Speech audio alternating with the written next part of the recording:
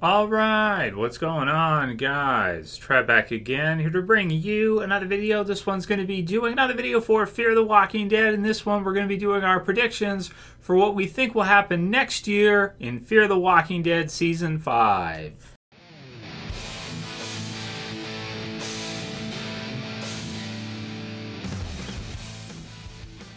And spoiler warning if you guys are not cut up for Fear the Walking Dead, which means if you haven't seen up to the Fear of the Walking Dead season 4 finale yet. Uh, so, that said, Fear the Walking Dead has been renewed for a fifth season. If you didn't know that, uh, yes, Fear is going to be coming back next year. We're going to get to see a season 5 of Fear, so that's uh, great news for people who are fans of the series. And after all the changes, right? Because in season 4, we saw so many changes with the roster, uh, the show basically getting entirely revamped by the mid season finale. Um, um, you know, time skips and, uh, you know, people, cast members wanting to, to leave, or at least one huge one in particular, and then a very questionable mid season finale death in season four for Fear. It kind of left us in the back half in a state of uh, kind of disarray and just just not understanding where the future of the series was going to go. So, um, you know, by the end of the season, if you guys didn't see my review for the finale, it's in the channel right now. I'll have it in the end screen uh, videos for you guys here in a box. It'll be in a box, so you can watch it after this one if you want to, if you haven't seen it yet. Um, really enjoyed the episode. Really enjoyed the finale episode and felt like it set us up on a good direction for season five of Fear the Walking Dead. And what Fear the Walking Dead is going to be going forward at least for a while. So, um, if there's one character I think that that they did a good job picking for this crossover, I mean, you know, Morgan is obviously I think one of the best choices. Maybe he was the best choice to cross over to Fear in them knowing that Fear was going to be having trouble with its direction, having trouble with um, you know certain uh, lead characters wanting to actors wanting to actor wanting to leave, and then you know kind of leaving the show to the point where there's very few survivors still left that are going to be in it going forward. Um, you know, I think all in all, going into season five here, it it's in a lot better of a position now than it was four or five episodes ago. Uh, certainly, the Fear group is starting to feel more like a group. It's kind of a, uh, a, mixed group of you know different walks of life. You have these different characters that came from different uh, angles. You had uh, Althea; she came from her side. You have the surviving Fear members that came from the prior seasons, and then you have Morgan who's coming in here. You have John who we met along the way. You have John and uh, in June and, and June to where they've got a relationship going that sort of started just prior and then kind of rekindled and came back together. And then you have Charlie, who's sort of a, a leftover from the Vultures in the first half, and uh, and a character that could be very useful should they want any intel on anybody based on her experience at such a young age. So. Um, going forward, what they're going to be doing right now and what it looks like. So they're set up at a uh, denim factory, so some kind of factory or something. Uh, and basically, you know, they're going to be going around and they're going to be looking to help people. So, um, you know, their mission or their idea is to be the good guys. You know, I, I, I love everything they've done with the television series version of Morgan. He turned out better than I could have ever anticipated based on the comic. Ver- the comic version sucks. Let me let me just, if you haven't read the comic series, the comic version of Morgan sucks compared to the TV series version. The TV series version of Morgan is so vastly better in pretty much every way than the comic series version of Morgan ever was. I really like what they've done with him, and giving him his own show is like right now it's hard to argue against it because it just feels so natural with this whole group kind of together here and how they've set everything up. So, um, I do think they've done a pretty good job in redefining the uh, the series in the last few episodes. So Will they, you know, what will season five look like? When will it start? Well, it'll probably start around the same time season four started, which is most likely when The Walking Dead season uh, nine ends. Now, how many people are going to be interested to come back and watch Fear after season nine ends? We're going to have to wait and see. Will season five be the last season of Fear?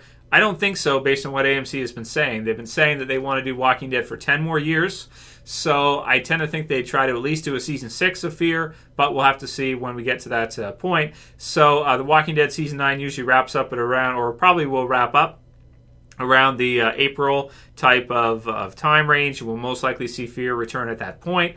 Uh, of course, the eight episodes summer break and then eight episodes back uh, around the uh, near the end of August. There most likely makes sense for the time frame of what they'll likely be doing for Fear. So um, happy to see that they didn't really kill anybody in the finale. It sets us up in a good spot for season five. They didn't need to. It wasn't necessary, I don't think, and uh, I'm happier that they didn't because um, you know there's not that many survivors in the fear group overall but they're probably going to be adding a lot as we go through into season five here. Whether or not they'll use a time skip remains to be seen. Maybe they bring in a few new it makes sense to do that. You do a little bit of a time skip at least and you have a few new members and maybe the start to the building of a new community here for morgan and the fear group. And uh, eventually i would think in the first few episodes of season five they've got to run into an antagonist right? They've got to run into somebody who um, you know, maybe is somebody who they think they might be able to help, and it may may turn out that that person actually uh, has uh, started their own group or something of the sort, and maybe sort of the opposite to Morgan's group, where Morgan's group going around trying to help people.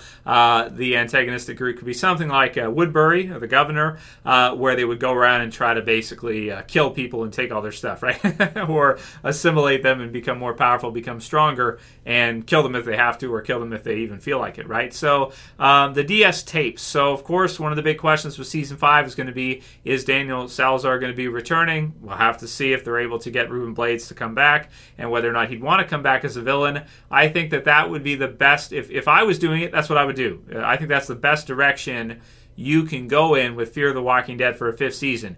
You can bring in a major villain who could be a major threat and Daniel could be that villain, right? And he could be somebody where um, he is maybe as strong as Morgan and the others have become. Maybe they add on five or ten more members of the group, and you have a group that's more around 20 or 30 people, something like that, after a little bit of time in season five. Um, maybe you have Daniel come through and he's got a group that's uh, of similar type of size, but of the opposite kind of people. You know, maybe even some leftover uh, vultures or, or, things like that that could be possibly in the uh, the area.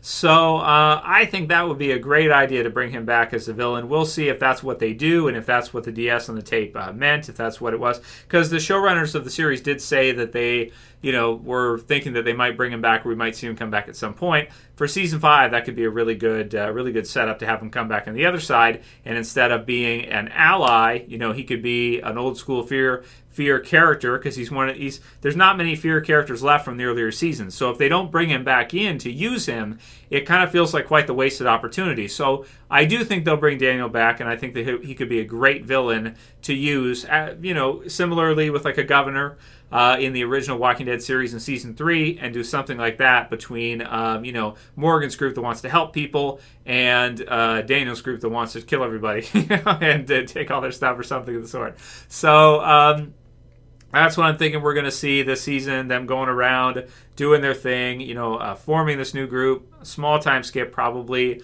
to uh, have it all make sense and put it all in together and change things up and add some new characters and such. Maybe some love interest for some of the different characters. Uh, we haven't seen one for Morgan in forever, uh, so eventually they might want to bring that in. Maybe it won't be season five, but maybe in season six they might want to do that because Rick's had some love interest too. You know, Rick starts off with Lori, of course, and they have their issues because of Shane and stuff, uh, but then later with Michonne. So eventually, you know, for Morgan, he hasn't had a love interest in in forever, uh, you know that maybe that makes sense. Maybe eventually, uh, since you know the start of the series, right? And he has to put his wife down, but he couldn't do it. And then all he saw was red, and then he, he did it, right?